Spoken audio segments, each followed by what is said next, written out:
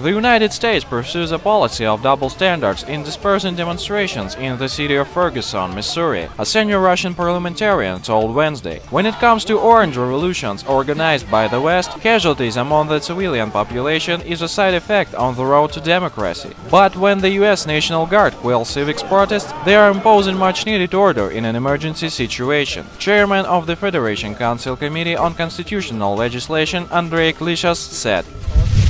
The fall in Ukraine's GDP in 2014 will be 7% and the budget deficit 4%, which are acceptable results, Ukrainian Prime Minister Arseniy Yatsenyuk said on Wednesday. At the same time, Yatsenyuk noted that Ukraine would have been unable to meet its external obligation in 2014 of $9.1 billion without the help of international lenders, who helped to raise about $8.6 billion for the country.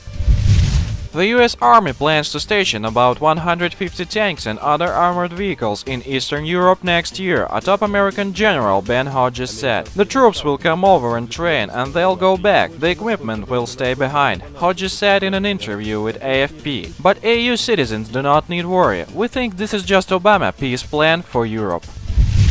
14 fighter jets are scheduled to land in Crimea's Belbek military airbase, Captain First Rank Vyacheslav Trukhachev, a spokesman for Russia's Black Sea Fleet, says. The fighter jets are comprised of 10 upgraded Su-27 SMs and 4 Su-30s. All of them are fourth-generation fighter jets. Four of the aircraft deployed in Crimea are newly manufactured, according to the Trukhachev.